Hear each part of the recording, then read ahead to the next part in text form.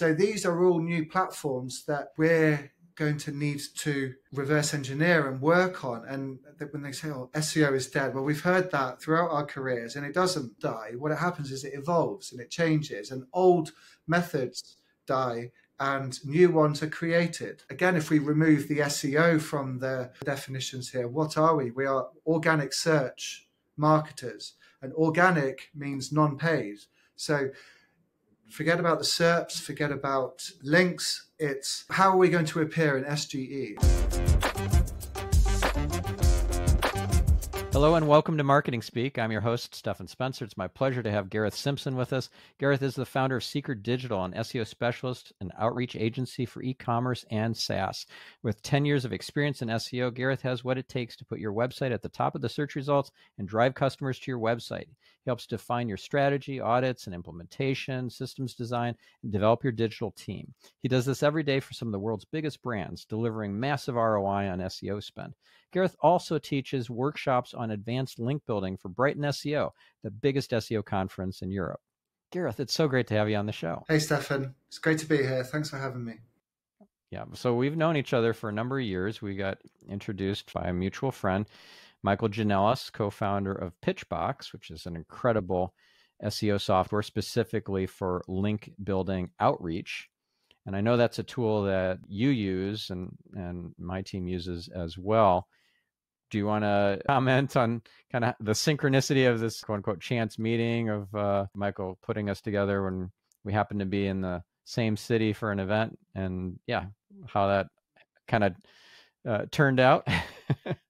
yeah, do you know what? I really remember it was one of those light bulb moments for me when I received that email from Michael introducing us. I'd been reading your books. I learned technical SEO from yourself and your co authors as well. So I was like, oh my God. And uh, yeah, Michael uh, obviously, uh, you know, it's no secret that I'm a big fan of Pitchbox, and it powers a huge part of our link building operation at Seeker. And uh, obviously, Michael and Alex and uh, the Pitchbox team, you know, they know who their like power users are, I guess. And uh, I think you asked them for some link building recommendations, and uh, Michael put us in touch, which was really, really fantastic news. And then I think we met in.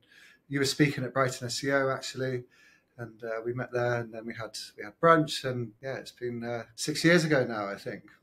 Yeah, yeah, we've known each other for six years now. Awesome, and and uh, we've collaborated on shared clients. We've getting some coaching from me, and we've been uh, just friends and colleagues over that time. It's been uh, such a, a a joy and an honor to know you. Thank you. I appreciate it. Yeah, like saying it out loud, six years. We, I mean, we spent quite a lot of time together, especially with the, the coaching and mentoring, which has certainly helped me a lot, both with my agency and then unexpectedly, certainly with my personal life as well. So, yeah, the feelings certainly mutual. Thank you. No, that's awesome. I'm really happy to hear that.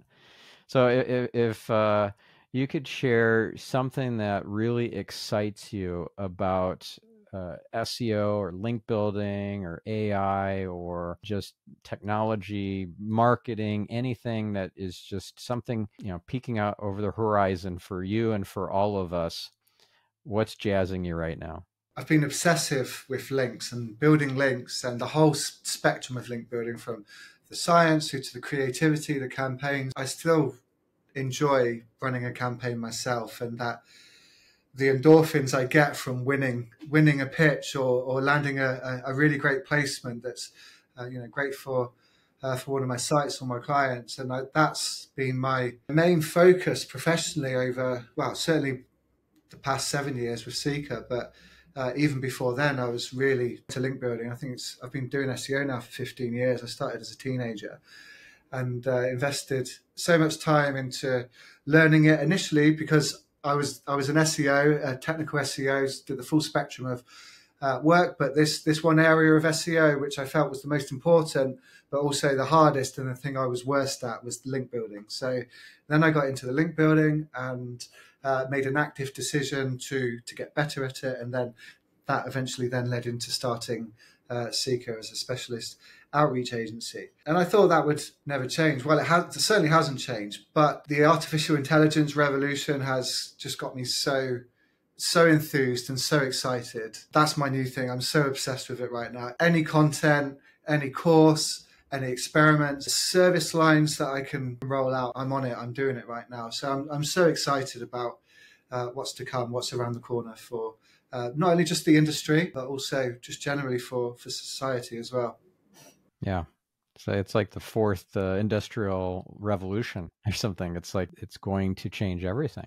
And of course, whilst revolutions have you know kind of gone like this, all of a sudden it's going to go like that, you know, and become very, very exponential, which is scary, of course. And there's going to be risks and threats that need to be mitigated and managed and things. And that seems to be what society is figuring out at the moment. But uh, I'm very much championing proper use and development of um, of this tech.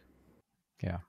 Yeah, for for me, the idea of being fearful about AI or even just worried about it is not helpful. Taking proactive positive actions to help curb the potential negative influences of AI uh, that I encourage, of course, but losing sleep over AI doesn't help anybody. You know, my, my wife Orion has a great expression that worrying is praying for what you don't want. So why are you doing that? why is anybody doing that uh, with regards to AI or anything else for that matter? And if we can just get into a place of trust that everything that's happening to us is actually happening for us, you know, individually and, and generally across all of humanity, and that the hand of God is behind everything that happens, absolutely everything.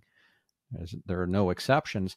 Then you can just kind of relax and know that you're being guided through uh, all of this, everything happening in your life, and then you can look for opportunities and ways to reveal light and do good through AI rather than just waiting for the other shoe to drop and some dystopian future, inevitable dystopian future to happen, like some horrible sci fi movie that keeps you up at night. Yeah, exactly. It's, um, you've just uh, reminded me of Mo Gawdat's uh, book, um, Scary Smart, and he has three rules, um, and I've, I've, just tried to remind myself of what the uh, all of the three rules are. But certainly one of them is it's inevitable. I was watching the Lion King theatre a couple of weekends ago and seeing Timon and Pumbaa on stage singing Hakuna Matata and yeah about this stuff. It, you know, you can't change it. That's a great musical, by the way. I have seen it as well one of the best for sure. So yeah, that lifted me up, and we have to be optimistic. And it's inevitable. So well, I went through this when I first started experimenting with AI for link building campaigns and actually using some not just GPT. Uh, which still at the moment feels very much input output input output but that's that's not really the by far the full capabilities of this technology it's when you go input and then it goes output and then outputs and outputs and outputs and it input you know it's prompting itself effectively and guiding its own you know agents controlling other agents. And i tried some uh, some tools some agi tools which like simulate artificial general intelligence which of course we are so far away from well maybe not so far but certainly that technology isn't mature yet but certainly will be one day and uh, I think we'll know about it when it's when it is. Some tools like uh, AutoGPT and Baby AGI uh, and things, and uh, they watching what they can do and putting in a prompt and said my first prompt was of course make me a link building campaign for Seeker. Uh, for my website, I want, and I gave it a small objective, an outcome, not not the steps, just just delegated the outcome, and uh, and then watching it kick into life, and it, it went on for hours like I just left it running and I kept working. I was I was looking at it and then it started to write its own code for an email client, right? And I thought, oh my god, is it going to try and actually build an email client so it can can start sending outreach emails? And I thought this was just an experiment. Like I was I was only I wasn't serious. Like just uh, where's the stop button? You know, I was like, is it actually going to be able to pull this off and actually start sending its own? Uh, and then it hacked into your LinkedIn, and then it started sending LinkedIn connection requests. exactly. Yeah. So watching that, you know, I went through. Sorry to go back to to our point. Is it the seven stages of grief? And one of the first stages is shock and disbelief. And a lot of people, I think, are going through that right now with, with AI. The resistance, the the mistrust, which is totally totally reasonable and understandable But it's not AI that we need to trust or not trust. It's it's the humans that control it and that are designing and what. Yeah, and that our AI is based on, right? So the the bias that an AI has is based on the data set that it's using as as the uh, the training data. Yeah, exactly. So so Mo in his book he talks talks about thinking of AI as a um, a small it's a child, a young child right now, and we can influence its development and how it's going to turn out uh, when it's when it's older, when it's more intelligent and it's an adult. So if we we need to start caring, you know, about the influences and the inputs that we give this software because of course it's then going to uh, to learn and replicate our our biases and our strengths and our weaknesses. Well, speaking of scary smart, a little kind of uh, analogy, or not analogy, more like a corollary to that is being street smart about AI. And one great example I was just recently introduced to the ChatGPT plugins, you really need to examine them to know what the heck they're doing. Yeah, exactly. And this is this is where some of that mistrust comes from and why we can't trust it right now in mission critical applications and things for our clients and replace all of our SOPs with AI based SOPs is because we don't know what what's going inside going on in that black box you know the processing. You know generally what we want to do is audit and sense check software's work it's like you know we have all these fantastic tools in SEO but and I'm very you know grateful and happy to use them but I also know that I can always go back and really manually do the same same activity in you know using a crawler and uh, some some spreadsheets and things and and check the workings out. I know how the software is behaving but with AI, there's much more unpredictable. And also, there are little things like this that could be built into the software which advantage or disadvantage a certain person or group or brand. That's a problem that we don't know. Well, I don't certainly don't know how we're going to, to fix is, the, is those workings out. We've, we're seeing it with SGE as well. How where's it where's it coming up with its answer? If we just had an output that said we use these sources and you, these these algorithms, etc., to come up with this this answer, then we might trust, you know, trust it a lot more. And the only thing I can think to do is because I don't know if it's even technically possible to be able to reverse engineer how it's got its answer. But maybe there'll be an AI auditing tool that will try to, to do that for you. We can audit AI's behavior and it can tell us how it's come up with, with, with the answer so you know whether to trust it or not. Yeah, and and just easy, quick move in that direction. You can ask ChatGPT to score in terms of validated uh, sources and accuracy of the information the answer it had just previously given. You know, on a scale of one to 10, how accurate and validated is this information you just gave me and all the sources? Oh, it's a two out of 10. Oh, really? Please now substantiate all claims that you made and provide uh, truthful information of the sources and everything for everything that you just gave me and then oh okay so you made a bunch of stuff up. Those are called hallucinations for those who are you know familiar with with that terminology and uh, just that's how llm works. It just makes up the next word and the next word and the next word and it may make something up that sounds really credible and true, but it's not. Yeah, that's the thing, isn't it? Like um, when I was looking at this Auto GPT experiment, is it actually doing these things, or is it as simple as what's often often said? It's just predicting the most most likely word to come next uh, next in a string, which is how it can appear to be very intelligent. But that's not the GPT and ChatGPT and LLMs aren't encompass the whole of AI. AI is so much bigger than that. So yeah, so I understand why some people are like, oh, you know, this is not going to change much or it's low quality work. Well, it's depends what you apply it to. It's going to be low quality with certain things and then better quality. It's going to be so much better at humans than other things, right? And you know what you just described there with the hallucinations and things and having such a low integrity score on an on an output, you have to put all of that into your prompts, don't you? You know, um, I've I've heard you talk on the podcast before about really large prompts, and uh, every time it does something wrong or uh, or it hallucinates in some way, you have to go back and add that to your prompt. Don't do this, don't do this, or behave in this way. And then over time, you really start to narrow down its flexibility and what it will go out there and do until it's doing exactly what you want in the way that you want it to do it. Right, right. You can confine or constrain the output to even just be like web browser output. Uh, we were discussing this before uh, recording, and I probably covered this on a previous episode, like with uh, Peter Swain. But the, the super prompt from Brian Roemmele that he gives as, as an example, it's a hypothetical or theoretical web browser of the the entire corpus that GPT-4 uses, and you would have, let's say, your input after you've supplied the website address and the year, the theoretical year that you're browsing, and then you start selecting links by just providing the number next to the link.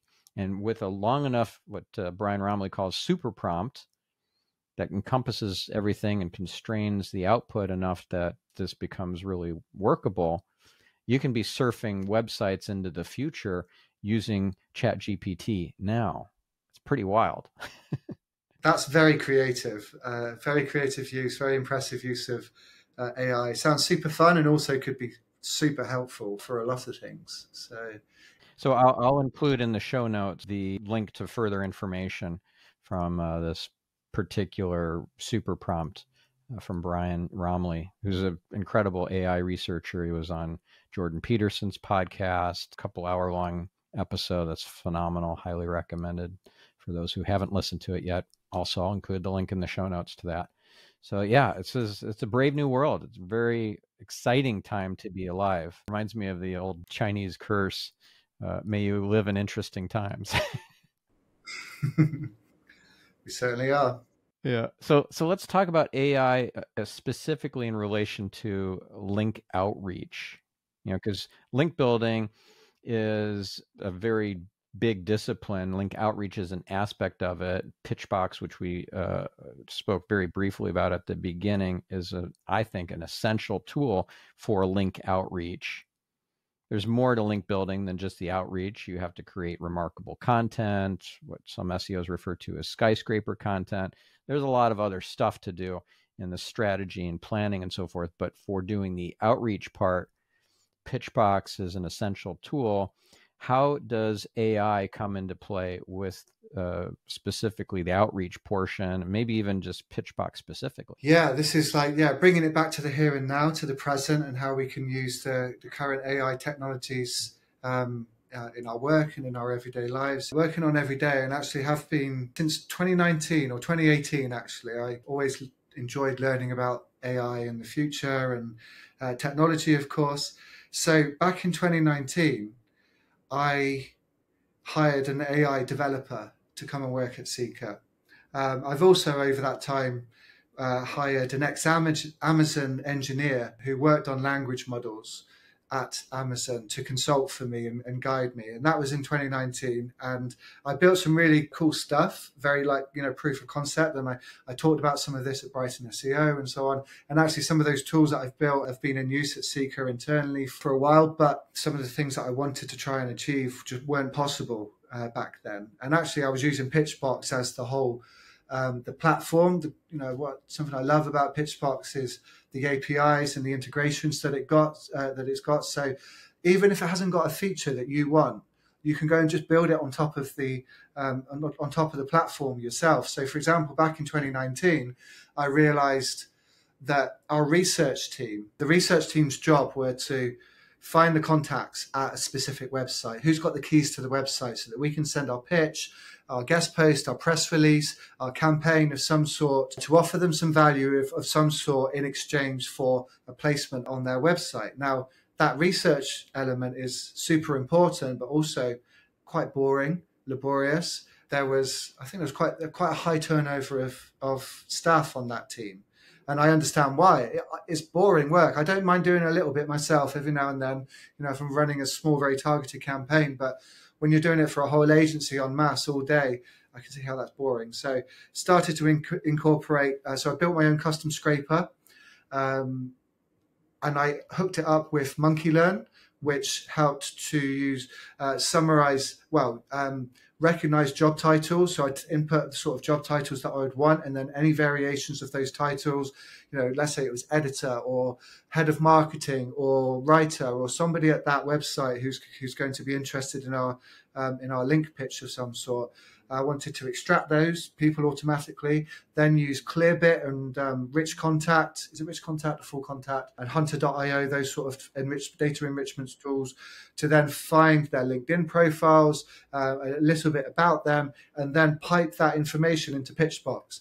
Now, that was a very effective method of speeding up the outreach process and also take my, uh, you know, the poor team who are there doing this mundane work all day uh, to take them away from doing that. Yeah, because otherwise you're you're using a tool like Hunter.io to find LinkedIn profiles and email addresses, but then you're copying and pasting, and then you're using the next tool, and then you're copying and pasting there, and then the next tool. So you connect all the dots together and uh, not have to use like Zapier uh, zaps to connect all of them. You can just use an AI to take control of that overall process. Yeah, exactly. Or Zapier is brilliant for just uh, prototyping stuff out. Uh, it, the problem is it gets expensive after a while. If you really want to scale this out, then yes, going to go and uh, having it coded manually, direct direct integration, a custom integration, uh, is going to save a lot of money. And actually, this was some of these things that I tried I had to stop because the scale just burned through so many API credits because I wanted some like auto autopilot link building tools basically. And uh, you'd hit run and it'd go and scrape all these sites and enrich all these contacts. And then I'd be left with a massive bill at the end. And if you didn't, much like prompting, if I didn't have the targeting just right, I've just gone and paid for a load of data that I've got no use for. So that's one of the, you know, the, um, something that's uh, super cool about some of the latest Pitchbox things that have just come out. And I've just had a sneak preview of some of their AI features, which are super cool. They've baked all this stuff in now into natively into the platform, so at no extra cost. So yeah, they've got open AI integrations, uh, their own custom tuned models, you know, because they've got years of outreach data that they've they've uh, at their disposal. And yes. Probably any link builder, the first thing they did when they went to ChatGPT, like me, was write me an outreach template. And what it produced, I was like, pretty good for a first first run. It's a bit generic, and of course, then a lot of that. Um, so a lot of the outputs can be generic because it's trained on the World Wide Web. That's not necessarily always going to be the best source of knowledge uh, to train a model on, which is the beauty of being able to tune your own models, which is what Pitchbox have done on their outreach emails. They've run giant data studies on uh, characteristics of outreach emails that work well. And I know they've done some really great collaborations with um, with Bibi, uh, who is a brilliant, absolutely brilliant link builder. Many reasons why she's a great link builder is because of her humor and her charm that she puts into outreach emails, which breaks the mold. It's a, it's that pattern interrupt in sales. Yeah, so they've got they've got a goldmine of uh, knowledge there, and they've tuned their own models, and now they've hooked that up to Pitchbox, and now anybody can write really great outreach emails, which is great because anyone can write great outreach emails, but also it's not so great for, you know, link builders. Well, it depends how you look at it, of course. What what's happened is the bar is just raising, it's getting higher. Before that's all you needed was a great outreach email, and they thought, great, this person's confident because they're using humor. Uh, I like confidence. That makes me feel reassured about their value proposition because if they, if they believe in it, then I believe in it. It's well written, so I know they're a good writer. Uh, they've learned about me. They've personalized the email. They they know what books I'm into or what what conference I spoke at or what are they know about our latest investment round, and that breaks the you know that that sentiment there. Uh, you know, we're all sucker for. Um, I certainly am for. If something's been really personalized, I think, okay, I'll give you the time of day. I'll let I'll listen to your pitch just because you've spent that much time uh, perfecting it. But if it if I feel like I'm being templated, you just you know, we, we're all just blind to that now. A great example of this, by the way, is if you take the principles of influence, Dr. Robert Cialdini wrote the book Influence, which is an incredible, timeless book. He was a guest on this podcast, by the way, incredible episode. One of his seven principles of persuasion of influence is unity. So if I were to say, hey, just happened to notice that uh, you went to University of Michigan as well, and uh, you know, I, I, I went there in such and such year and you know we just missed each other by the way I, would I'd love to contribute an article on x y and z that unity principle really works, but you can't scale that until now using a tool like ChatGPT incorporated into the uh, the pitch process. It's really quite amazing. Yeah, exactly. So we can scale out that level of care for each prospect. But is that a good thing? I guess that's subjective. But certainly, what it means is you have to get better. We have to get better. Like just having good outreach emails is not going to be enough. So we, we now have to find that next competitive advantage to standing out. Because yeah, you can scale out that personalization because each email can be unique with using Pitchbox and GPT tech uh, technologies. So it's really exciting, and, and I'm so impressed with the team at Pitchbox for taking on board suggestions that you came up with and baking that into the core product. Yeah, we, you know, we often hang out and just have calls in the evening, and we geek out on link building. I learn from them. Hopefully, they you know learn learn from me too, and we we just uh, yeah, we just just have lots of fun because it's um it's just it's a big it's a fun game. You know, link building is a fun game, which I I, I enjoy uh, I enjoy doing. So um, yeah, and they're they're super. Yeah, rolling out lots of really cool stuff. Yeah, and and you, you were really at the uh, in the early days there at the cutting edge of things. I remember uh, I, I didn't attend that presentation, but I remember you, you and I speaking about it. The one that you made you made at uh, Brighton SEO in 2019. I loved the title, by the way. You're so clever. Uh, LMFAO, leveraging machines for awesome outreach. That was really clever. Yeah, you remember?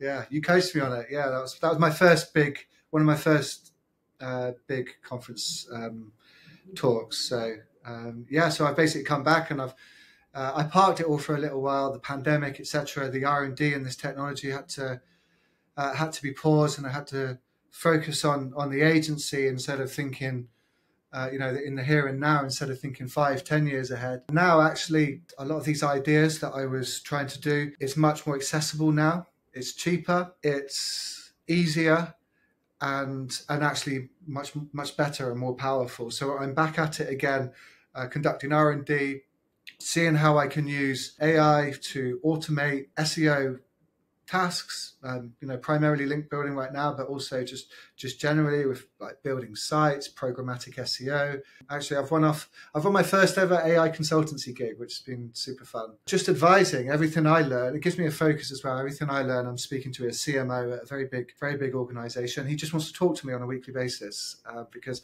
he's at the top of this organization and he wants to know he wants all of the ai knowledge and things to be condensed down so that he can apply that to his planning for the future and the threats and the opportunities that it poses. Yeah. That's awesome. And and uh, speaking at conferences and Brighton SEO being a, a, a really big opportunity that started for you in like 2019 or so.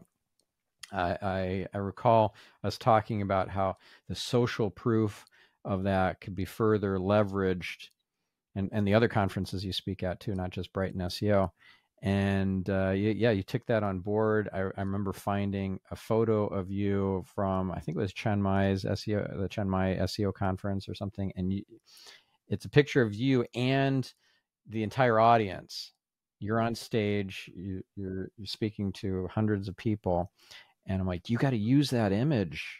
That's incredible social proof you've and it's uh, i just noticed it's on your homepage on uh, your personal homepage on garethsimpson.co.uk good job.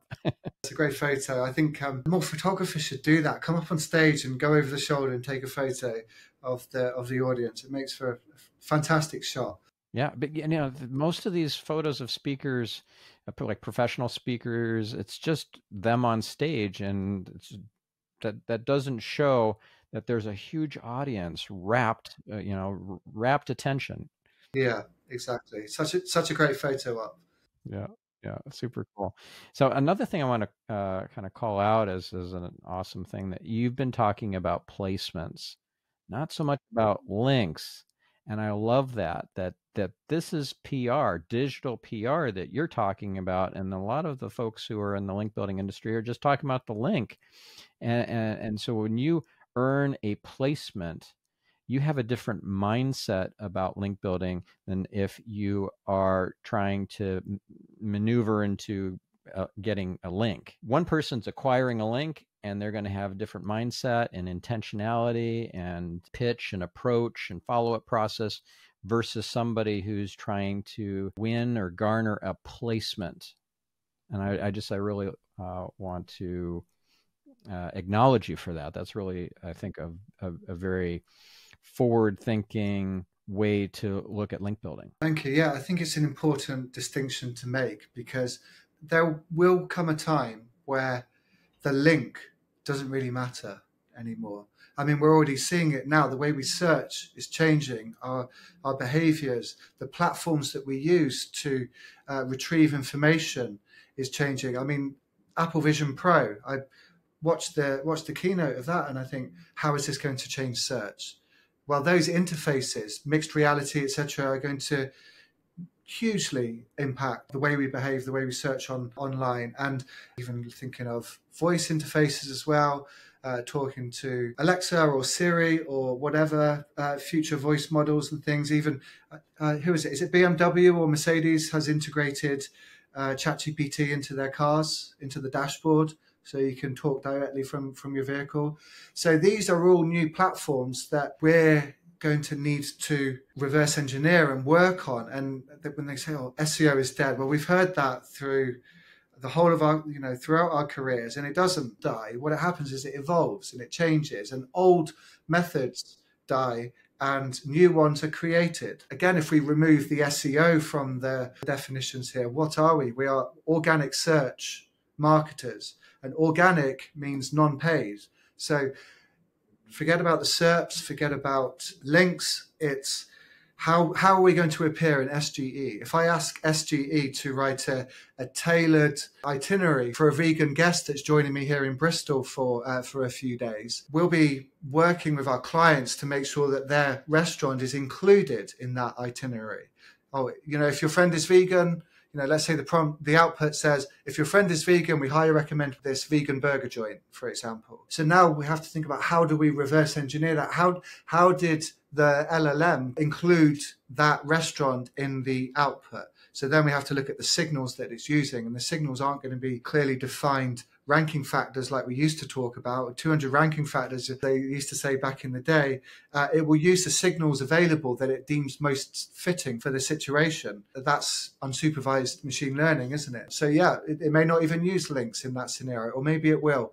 Um, it's much like the no follow attribute now that has now we'd stopped caring about those a long time ago, well before Google announced, was it like a year or two ago, that the no follow attribute is now just a, it's an indicator. It's an optional directive. So for example, if we land a placement on a giant media site for our clients and it's no follow, is that link still valuable? Of course it is. If it, if all being true. Even if it's not a link at all, it's just a mention of the brand. That unlinked mention can still be incorporated into the rankings criteria that, that Google's using. Exactly, yes, and that's um, just the mention there. Just uh, that you're, you know, you're contributing, you're feeding the the entity there of that people, place, or thing. That's we won't need the links. I remember uh, I worked a head of SEO of mine when I worked for an agency, yeah, ten years ago. Talked to me about the linkless web, and I was like, my mind was blown back then. I was like, we won't use links. There'll be no Google will just be able to understand that this brand has been mentioned in this local roundup of best vegan burger joints or whatever it is uh, in Bristol. So yeah, we don't necessarily even need the link in future. Obviously, right now we do, and it's if we've got the option to take it or leave it, we should take it because also there's other reasons to have links. It that's how we navigate. They're the bridges. Although in the future, I could see a time where the personal AI that I use as the user takes over and either o- overrides a link with a new link so I can navigate the, with my preferences of the kinds of uh, sources of truth and data. Or if it's an unlinked mention, my personal AI could turn that into a link so I can click on it anyways. Yeah, exactly. Yeah. So the personalization is going to be big, isn't it? Based on your behaviors, your your you know very basic things like search history, but then also all of the the biometrics and things that these uh, that our phones have and our smartwatches, etc.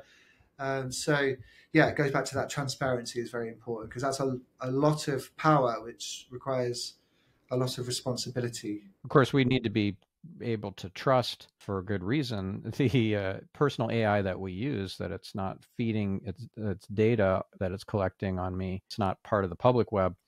That it's not feeding that to some big repository or or the government or whatever. Well, hopefully, people vote with their feet, and we'll uh, we'll choose the technologies that are you know aligned with our values and things. Fingers crossed if we don't get a link, it doesn't matter. We, we, we still think it's a great placement for uh, for the client because we've contributed to the knowledge graph uh, for our client. As an example, right here's a, here's a great use case. We've got a client right now who they I think they probably had like three. They're a SaaS brand. They have three main product lines. I've changed these numbers up, and, uh, but they have acquired a couple more businesses. So they've added additional complementary products to their suite of tools. Now, if you go to Bard or ChatGPT, and you and I, I did this as a demonstration on uh, on a recent call for them, and I asked the the model, "What does this brand do?" And it, it all it came out with was the old offering that this brand have, and and their whole strategy now is about pushing forward an, a full suite of applications for this particular niche of software solutions rather than just the specific couple that they were founded on. Our job now is to help them change the the model's opinion of this brand or its perception of this brand by feeding it these other signals. So when we're doing PR now, we're not just doing PR for humans, we're doing PR for the algorithms, for the for the AI as well. Because if the AI better understands what this brand does, then if I go and, and, and ask my AI assistant to give me some software recommendations, we want, you know, our client wants to be included in those if it's relevant. So now we have we're doing a whole load of campaigns and link building, of course, but just content, guest appearances on podcasts and panels and conferences and things like that. Because uh, the more they talk about these new products, the more over time the models will be so will associate them with you know the the broadened scope of solutions that they offer. Another great use for uh, something like this, uh, from your client's perspective, would be like if let's just say that it's not a linked mention, it's unlinked still it's great as you said for the ais and for all these other reasons and it's a great mention for their uh, for inclusion on their press page too. Yes exactly yeah. It's just additional credibility and and legitimacy to their uh, prospects who are already on their website. Yeah those logos that we see on on the sites that's we want to help our clients for various reasons. EAT of course being a big one which is only going, going to become more important as ai develops and becomes more mainstream, you know, we've got two two main considerations with AI to think about right now. There's us using the tools, uh, AI tools, to do SEO, but then also the algorithms are of course going to have to react to us using those tools because of course SEOs we're inquisitive experimental folk who like to find ways around and you know um, hacks and and, uh, and things to uh, to increase ranking, or certainly some some SEOs do, of course. And those boundaries will be tested. So the algorithm is going to have to then react to, you know, like great content used to be all, uh, all you need, and then in future, content the the bar for content, you know, just basic copy is um, is is lower. So how do we the, you know the the search engines and the social media platforms they've got a, a big job on their hand even youtube for example because we'll be able to spin up a video with one prompt publish it post it goes live on youtube. The algorithms need to they're going to need to learn how to surface the the videos that we actually want to want, uh, watch. So yeah um, so there's that. And then yeah so there's AI being used by SEOs and then AI being incorporated into into search and social. So um, I've forgotten what the the train of thought was there. But... In interesting times, you know, this reminds me of uh, Charles Darwin's evolutionary theory. Uh, a lot of folks misquote it as being survival of the fittest, but it actually is survival of the most adaptable. So if you can be more adaptable than your competitor, as things are evolving with AI and, and technology and, and, and in general, you can be ahead of, of the pack and, and you can survive. But if you're not adaptable you're just really mm-hmm. fit. You go into the gym and so forth, but you're you're you're kind of a dinosaur in the way that you're approaching things. You you're going to get eaten. Yeah, and it's seen it time and time again with each revolution. Doesn't mean it's been replaced. It's just got better and quicker, right? Example of the combine combine harvester. You know, before we were manually hacking away to to uh, to harvest crops and then now a combine harvester can do a whole field in, in a fraction of the time. So we need to need to be adaptable, um, and that's what we're you know we're doing at Seeker now is regularly having training and doing a lot of R and D on AI and uh, rolling out uh, for our clients, and um, yeah, it's a lot of fun. Yeah, now, you know something we talked about before uh, recording was uh, you'd mentioned listened to a couple of episodes recently on this show. Uh, one with Dixon uh, Jones talking about entities, one with Pamela Wilson talking about content marketing and, and the use of AI in content marketing. And, and you had a really interesting idea about kind of connecting the dots between uh, those two topics. And I just want you to share that for our listeners' benefit too, because it's really creative and it just shows an example of how outside the box you are in your thinking and applying these different strategies and ideas and technologies in novel ways, which I, I think that makes you irreplaceable. Like an AI can replace a lot of different kind of people and and and uh, job functions, but where it doesn't really work well is to find novel connections between disparate uh, ideas or systems or topics. And you definitely have that. So I wanted to have you share a little bit about what you were thinking about entities and, and, and AI and content marketing. Yeah, so they, they were two great episodes that really got me thinking. Somebody I've learned from for the past 10 years. The, the science of links um, is a often uh, nowadays often overlooked part of link building. I love all the creative work that we do, but understanding the why is really important. I think uh, Dixon helps to teach that. So I've always enjoyed listening to or learning from from Dixon. The discussion on content as well and AI that was thought provoking, and it got me thinking because you you presented this problem about your start here page, and I, as I was listening to the episode, I thought, hmm, how would I you know, how would I approach this or what opportunities are there available? And it just got me thinking about what a gold mine of knowledge that you've got. You've got E, EA, literally EAT content. So just for the, the listener who's not familiar with EAT or EEAT now it's called, that's mentioned by Google in the quality rater guidelines that they give to their, their quality raters, their human reviewers. And it's experience, expertise, authoritativeness, and trustworthiness. So just wanted to make sure everybody's uh, on the same page in terms of what you're talking about. But yeah, no, go ahead and proceed. Content of that nature is what's going to really stand out in future. So AI can't can't produce experience or reiterate it. You know, the expertise, of course, yes, because it's got the combined knowledge of every single expert ever to have ever written anything, or it certainly will do one day. And not only you know that knowledge is then it's all passed back to the uh, to the AI. So yes, you could argue that it has that it could win on uh, expertise. Authority is I don't know about that because it's also using the amateurs and the charlatans. like it's all in the it's in the mix and in, in, the training data. Very good point. Uh, and actually, maybe that leads on to the next letter, the authoritativeness, and that's where the, like the weighting of is this person qualified to speak about this topic? Have they got qualifications? Have they got um, the professional background? Have they got the research, uh, etc.? So that's that's how the models need to evaluate um, the what it, what it's being trained on itself, and then again that leads on to trust as well, like votes of trust from other authority figures, which is why why PR is going to become even more important in future, as well as the sort of content that you're producing, you and your guests are producing here uh, on this show, because there's experience in there, there's authority, uh, there's there's there's trust. All of all of elements all the elements there are embedded in this content. Going back to the to the real nice real life scenario. You do the transcripts, which is great because then it can be picked up by search results. If someone's searching for a certain thing, uh, it shows up, which is uh, fantastic. But then, you know, at the moment, you've got these vertical vertical columns of, of content.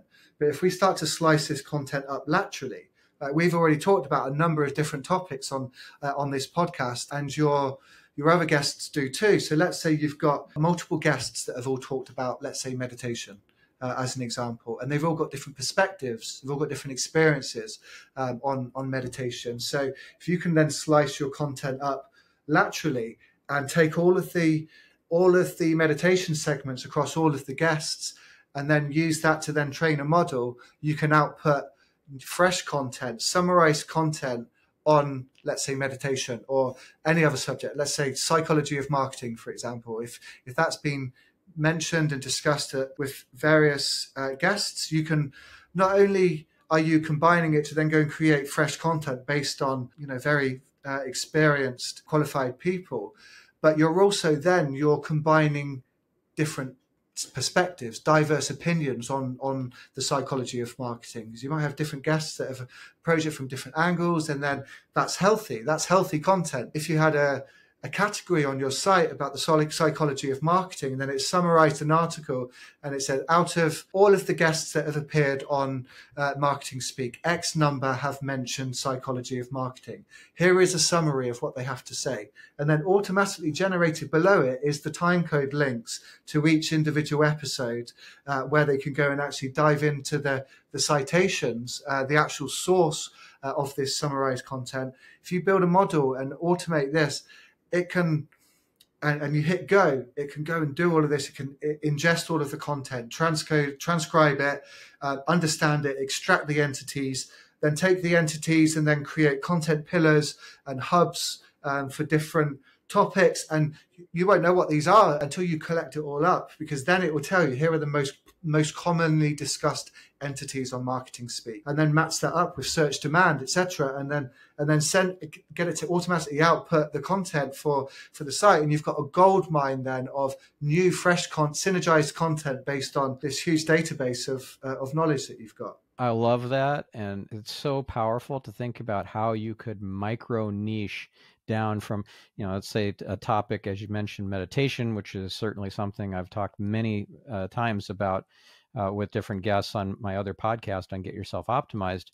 You could micro niche that into not just, let's say, transcendental meditation and then one on mindfulness meditation but you could do like under mindfulness meditation like walking meditation walking meditation around labyrinths and it's like you can go so micro niche because the AI is scalable to do that for you and by having entities worked into this that labeling of these different topics and subtopics and sub subtopics, it seemed to me like you could have infinite version of essentially Tim Ferriss's Tools of Titans book, if you're familiar with that. It's based on a whole bunch of recommendations from his guests over the years.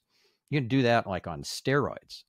Mm, exactly, yeah. And you can even then go super niche and actually super personalize is even make some sort of chat interface to interact directly with the content, and then people can.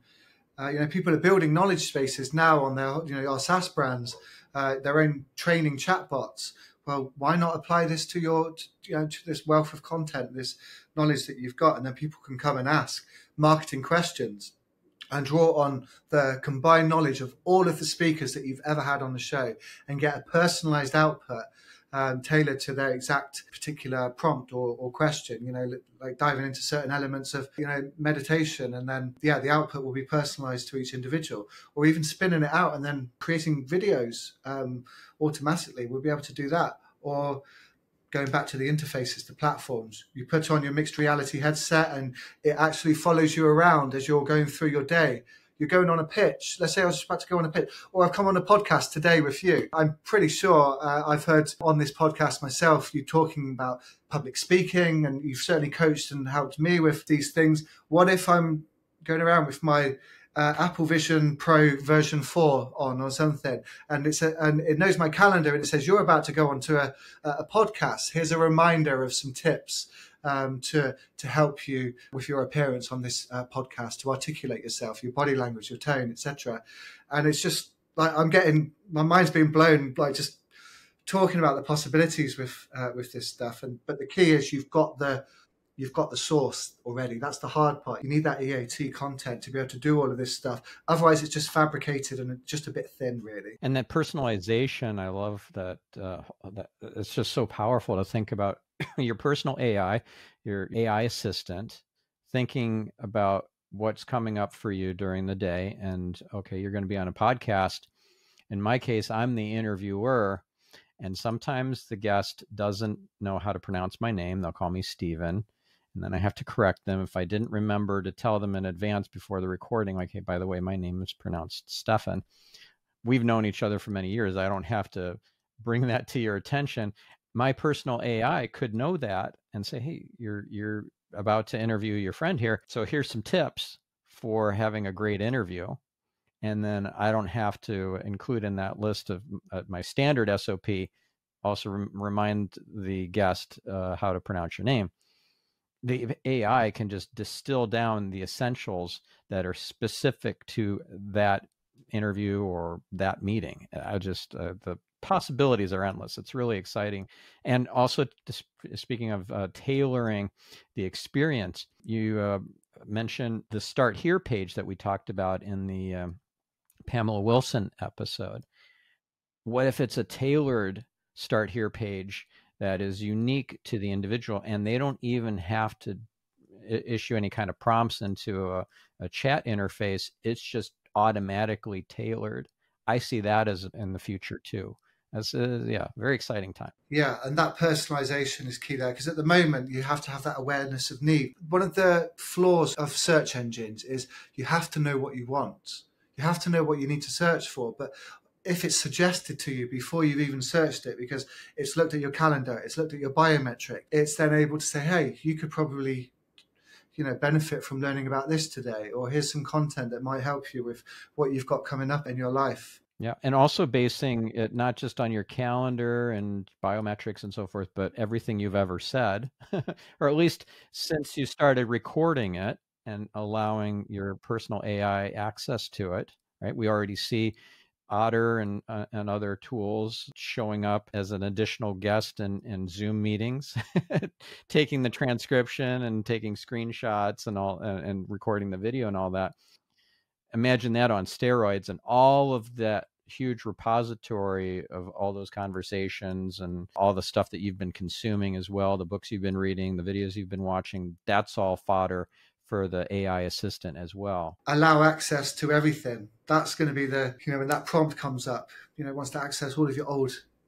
I've got e- email inboxes going back to, you know, when I was like 10 years old, right? And do I allow access to that, all my social media profiles, my Google Drive, my Dropbox, my Slack, my messages? And, and the more it learns about you, the better it can can help you. There's a great article I was reading on futurism.com. This was based on Meredith Whittaker, and uh, she's the the head of of the foundation behind the Signal app. You know, Signal is a competitor to Telegram. And she was raising concerns about privacy and AI and how if you give access to an AI that has all this data about you, maybe it's even public you didn't have any kind of uh, you know gates preventing the AI from using that information. Let's say it's just public tweets that you've been posting over the years. And AI could use that data against you and decide we're we're not approving your loan request. Oh, oh, oh wait a second. Why? Uh, I'm sorry. That's a black box. We don't know. We just got a a, a no from from our AI that uh, makes these decisions. So I'm sorry we we can't give you that mortgage based in part on what you've been tweeting over the past 15 years or 10 years whatever. Yeah. So your tweets could affect your insurance premiums for example. Your insurability your uh, credit rating credit worthiness. Yes so many things. I'll include a link to that article on futurism.com as well all right. Well, I know we're at time here. So if our listener or viewer wants to work with you and your agency, uh, your awesome team at Seeker Digital, if uh, they want to learn from you about link building and AI and all that, where do we send them? Digital is where you'll find uh, my agency and my, my wonderfully brilliant team of content marketers, digital PRs, SEOs, link builders. We primarily work with e commerce, SaaS, and enterprise brands. We're a small agency, but our clients are generally quite long term, high value retainers. So if you think we can help, then love to talk. We rank websites for mostly very very focused on the bottom of the funnel keywords. We, we are trying to make SEO like PPC in terms of its control, but without the costs. Uh, and of course, as we've uh, we've discussed a lot on this show, I'm very into AI marketing, AI SEO uh, right now, and um, we've got some super cool internal tools and um, solutions that we're rolling out for clients. So, if you'd like to learn more about that, I would um, yeah, we'd love to talk. Thank you. And also, we're both big fans of Pitchbox. So if you're the listener who's working um, on link building and you have a team, pitchbox.com. It's amazing. Yeah, listener, I hope you take this information, you do something with it because this is not edutainment. This is a, call to action. You're supposed to do stuff with this. So I hope you are. We'll catch you in the next episode. I'm your host, Stephan Spencer, signing off.